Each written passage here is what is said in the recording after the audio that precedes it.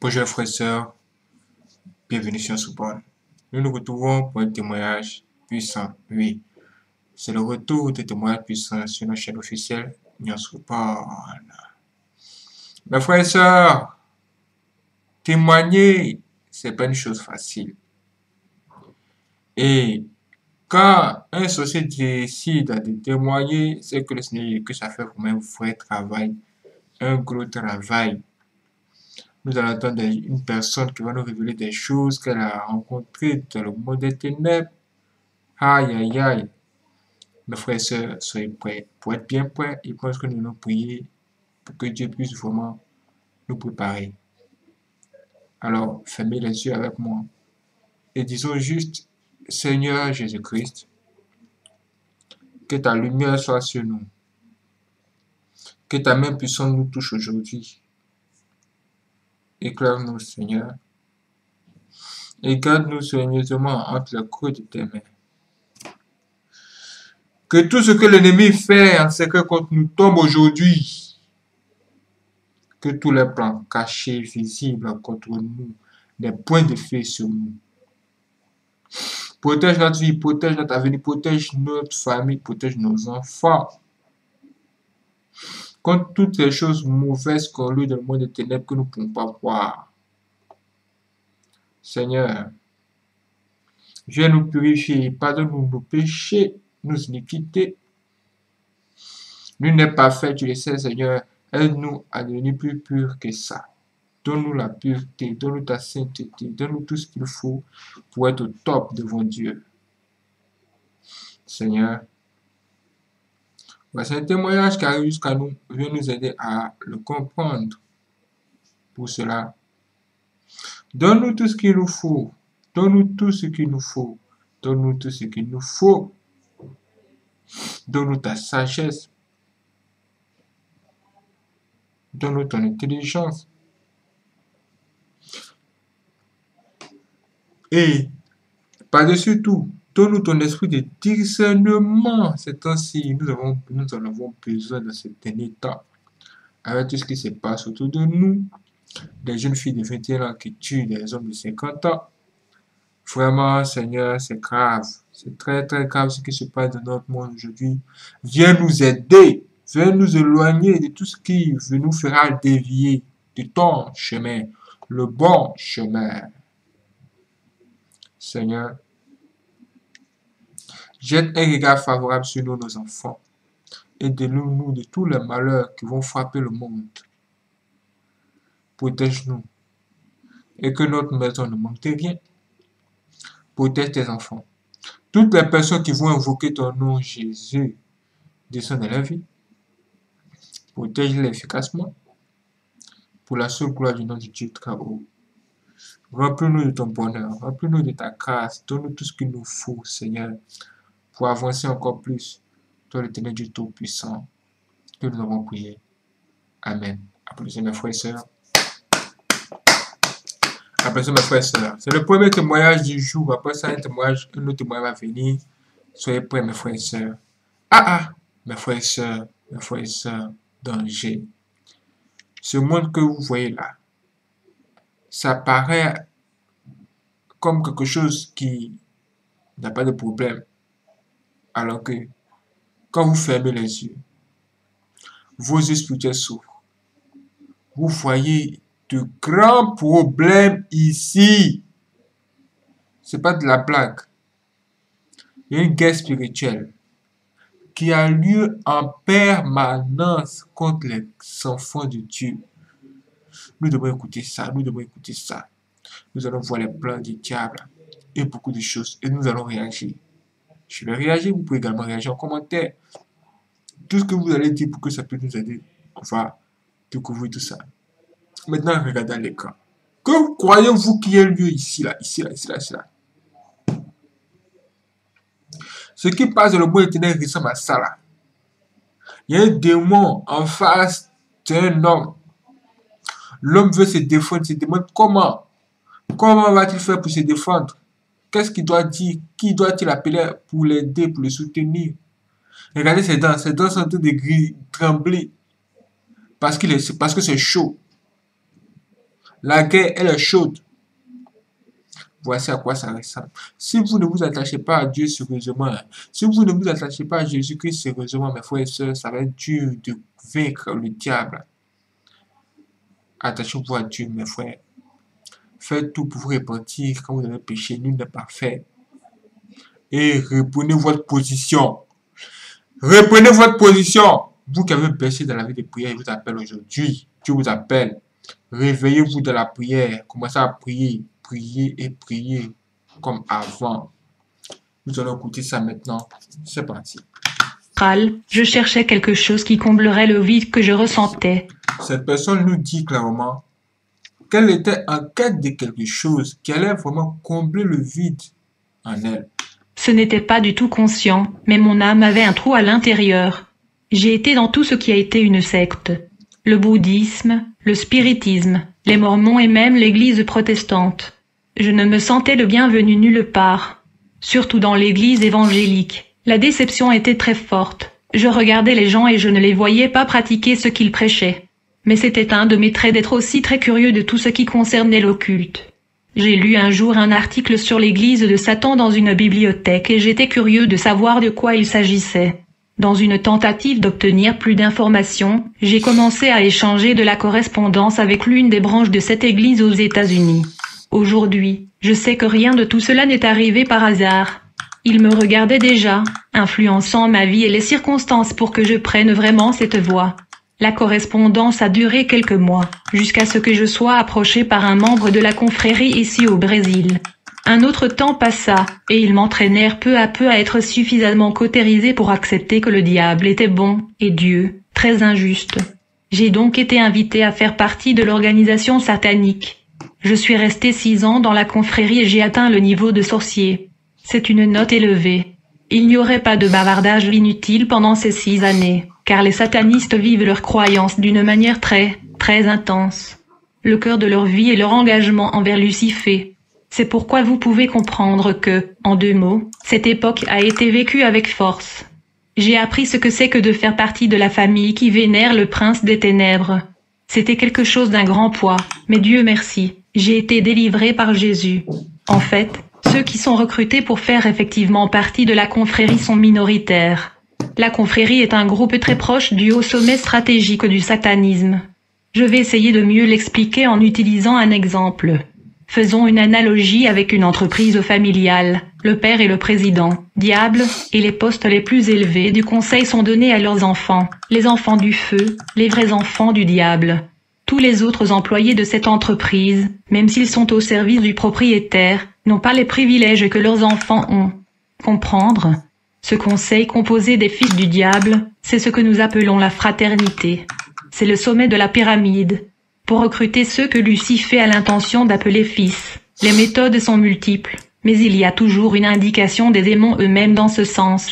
C'est-à-dire que les démons signalent clairement ceux qui les intéressent. Alors ces gens sont approchés et amenés dans la fraternité. Cependant, comme je l'ai déjà dit, ce sont la minorité. L'objectif principal de la confrérie est de préparer le monde à la réception de l'Antéchrist. C'est très complexe comment il fonctionne dans la société, mais, en un mot, le satanisme a travaillé au cours des siècles pour préparer l'esprit des gens. Ils doivent affaiblir la vérité de Dieu afin qu'ils puissent faire prévaloir leur vérité. Cela ne se fait pas du jour au lendemain. Il est nécessaire d'étendre un véritable réseau invisible sur la compagnie, à tous ses niveaux, pour que le rayonnement global soit complet. L'intention est que tous les secteurs connus de notre monde soient imprégnés et, avec cela, il y a le pouvoir d'influence. Et quand je dis tous les secteurs de la société, je veux dire tout le monde. Éducation, politique, santé, sécurité, médias, divertissement, et ce je ne veux pas passer ici sur un point de vue pessimiste, mais la Bible elle-même déclare que le monde entier est sous le contrôle du malin. Vous pouvez être sûr qu'il y a des milliers de personnes impliquées avec les plus hautes puissances infernales, principautés et pouvoirs, travaillant jour et nuit pour que cela ressemble à cela. Tout au sein de la confrérie diabolique. Tout, absolument tout, car ils sont en effet capables d'offrir au diable le culte qui lui plaît. La révélation leur parvient de la même manière que la révélation biblique nous parvient. Pour mieux comprendre cela, nous savons adorer Dieu d'une manière agréable parce que la révélation nous a été donnée d'en haut. Avec les vrais enfants du diable, la même chose se produit. Les anges déchus eux-mêmes ont apporté les révélations de l'enfer. Et bien sûr, tout ce que Lucifer aime. C'est terrible. Je ne veux pas vraiment m'étendre, même parce que tous les détails que nous avons été autorisés à aborder sont décrits dans mon livre.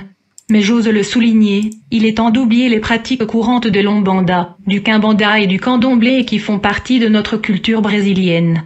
Le sang qui plaît au diable n'est pas le sang des animaux, c'est du sang humain. C'est l'offre acceptée. La monnaie spirituelle. Le prix requis pour que quelque chose se produise est là-dedans. Rien de ce qui n'est pas sous cet anneau de sang n'a de valeur, ni n'achète rien du diable. En ce qui concerne l'argent, la Bible déclare également que le diable est le prince de ce monde. Sachez que le prince de ce monde a beaucoup d'argent. Les personnes qui font partie de la confrérie ont un pouvoir d'achat très élevé.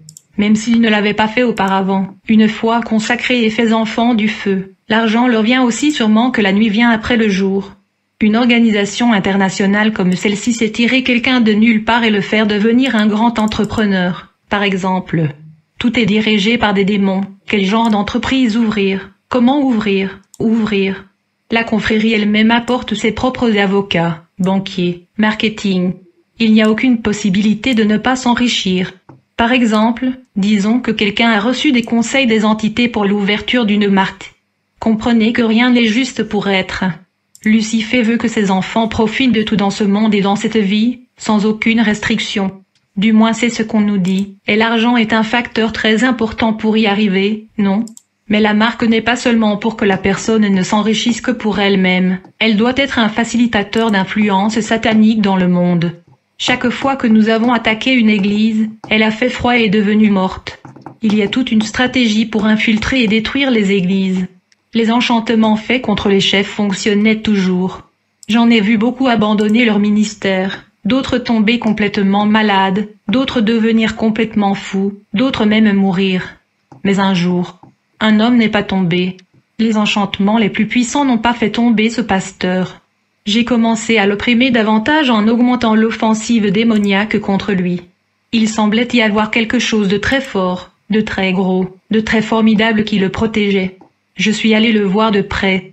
C'était une chose incroyable. Je suis tombé par terre. J'ai perdu connaissance. Cet homme vient de prononcer le nom de Jésus et j'ai senti mon corps brûler. J'ai failli mourir mais sa compassion m'a empêché de mourir. Les choses étaient jusqu'à présent absolument incompréhensibles pour moi. Quel pouvoir était dans ce nom?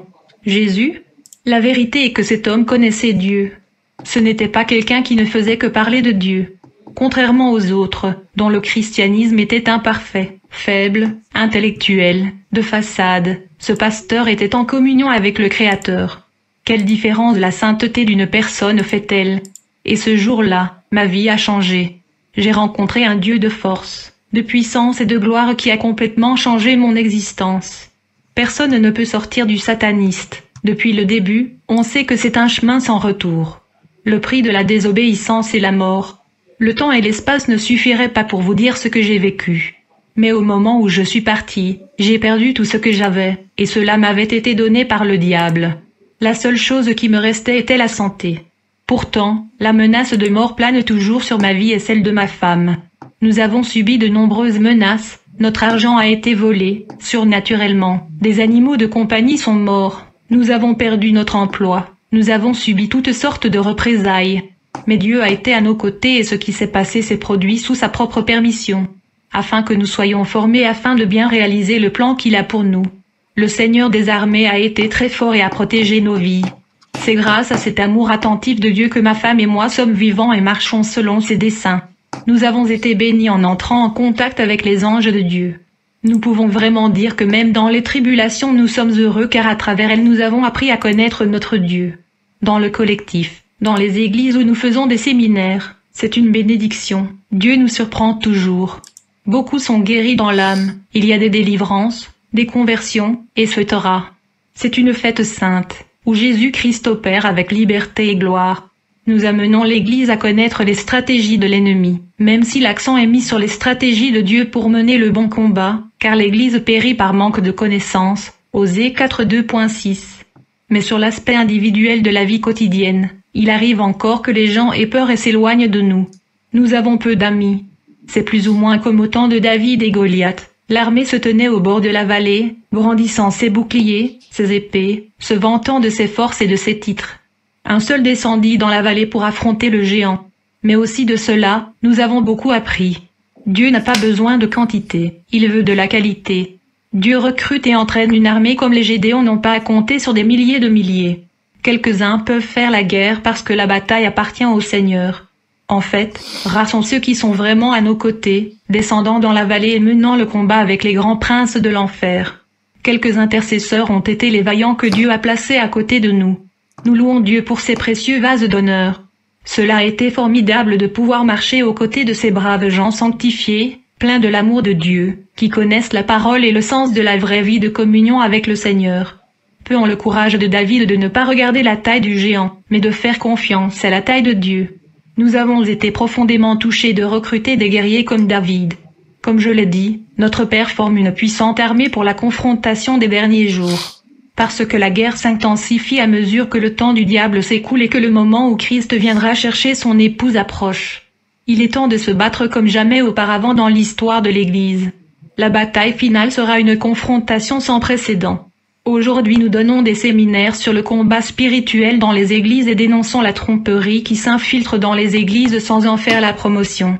Surtout, nous soulignons la puissance de Dieu et partageons avec l'Église ce que nous avons appris au cours de ces années de lutte où nous expérimentons les stratégies du Père et sa puissance souveraine. En plus des conférences, qui sont étayées par de nombreux documents, transparents, documents, vidéos, etc., nous écrivons et avons d'autres projets de livres supplémentaires, comme peut-être un livre de bataille spirituelle pour les enfants, où nous nous concentrerons sur des principes bibliques tels que l'obéissance au pays, ne pas mentir, louer Dieu, etc., d'une manière simple et amusante. Bien sûr, nous ne sommes dans le ministère aujourd'hui qu'après avoir reçu un appel clair de Dieu. Au début, nous avions peur, mais nous avons fait un pas de foi. Nous avons tout abandonné, emploi, profession, etc. Isabella est médecin et sert aujourd'hui Dieu à plein temps. Nous avons traversé un désert de près de deux ans, où notre foi a été testée et prouvée jusqu'à ce que nous arrivions à la sortie du livre Fils de Feu. Les luttes, bien sûr, continuent. Pour l'instant il reste sur l'horaire préétabli, avec des personnes prenant des positions à des endroits stratégiques, etc. Marlom est venu me voir à plusieurs reprises pour essayer de me persuader de revenir, en proposant de l'argent, ce que je n'ai pas accepté, bien sûr. Il a changé de stratégie plus tard, en essayant du côté émotionnel, et enfin, avec des menaces claires. En ce qui concerne la confrérie, non seulement il menace, mais nous avons déjà reçu plusieurs attaques, et si ce n'était la main de Dieu pour nous protéger, nous aurions déjà péri. L'idée de sortir ce livre n'est pas née dans mon cœur, mais dans le cœur de Dieu. Nous avons juste obéi. J'ai eu une expérience formidable avec Dieu. J'ai reçu la visite d'un ange. J'ai demandé ça pendant des années, parce que je n'avais vu que des démons. Mais, l'idée que j'avais d'un ange était de nature baroque, cheveux potelés et bouclés, visage de garçon, petit. Ce que j'ai vu, il n'y avait rien de tout cela. Il était fort, un guerrier. Il n'avait pas d'aile à parler, donnant clairement l'ordre de publier le livre, et une onction spéciale pour faire face à ce qui allait suivre. C'était quelque chose d'unique, que nous raconterons plus en détail dans notre prochain livre. Je ne veux pas gâcher l'histoire. Résultats du livre sont étonnants. J'ai reçu de nombreux mails, et la grande majorité sont unanimes pour dire qu'ils ont été transformés par Dieu à travers la lecture, prenant un nouvel engagement envers la parole, tout le monde a été richement béni.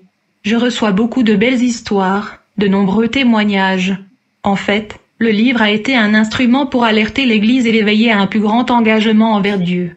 J'ai publié mon Eulmaï dans le livre précisément pour mesurer les résultats de la semence de Dieu au cœur de l'Église. Étonnamment, aujourd'hui, je reçois plus de 100 Eulmaï par jour, et les réponses ont dépassé mes attentes. C'est très bien car cela me fait voir qu'en fait, c'était le dessein de Dieu et la bonne voie à suivre. Dieu a donné un remas, un mot, arrêter les sports de combat. Celui qui vit par l'épée meurt par l'épée.